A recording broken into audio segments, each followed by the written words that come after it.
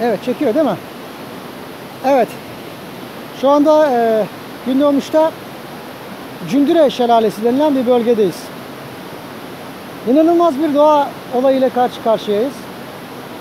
Bir ay sonra bu şelalenin çok daha büyük bir suyla patladığını ve inanılmaz bir güzellik verdiğini söylüyorlar.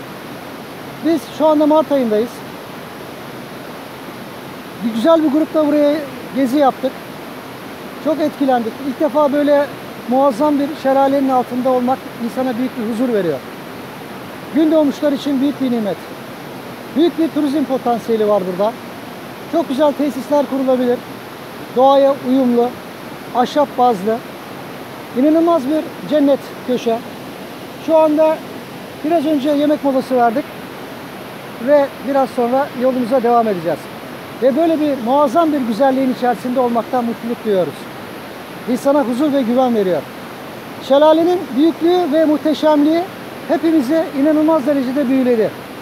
Düşünemiyorum bu şelalenin çok daha büyük bir şekilde her yeri kapladığı. Söylenene göre inanılmaz bir büyük bir su potansiyeli bu şelale kaynağından buraya dökülüyor. Biz de grup olarak bu keyfi yaşıyoruz. Evet, ileride buraya turlar düzenlemeyi düşünüyoruz. Antalya'dan, Türkiye'nin birçok yerinden bu bölgeyi ziyaret etmek isteyenler mutlaka buraya gelmeliler. Gündoğmuş'un muazzam dağları ve güzellikleri her yeri kaplıyor.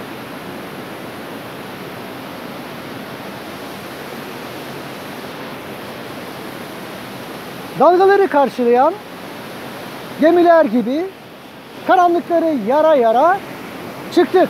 Rüzgarlara en serin, uçurumlara en derin, havaları en ışıklı sıra dağlara. Ardımızda bir düşman gözü gibi karanlığın yolu. Önümüzde bakır taslar, güneş dolu.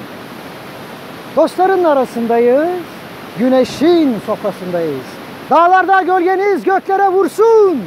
Göz göze, yan yana durun çocuklar. Taşları, taşları birbirine vurun çocuklar. Doldurun çocuklar, doldurun, doldurun, doldurun içelim. Taşları göğe atıp sardan geçelim. Hey, hop! Nereye gidelim? Yalnayak, koşarak devlerin gittiği yerden gidelim. Doldurun çocuklar, doldurun, doldurun, doldurun içelim. Dostların arasındayız, güneşin sofrasındayız.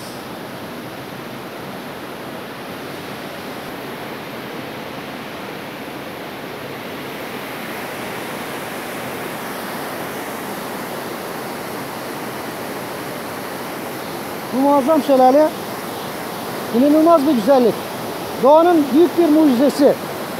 Doğa harikası bir yer.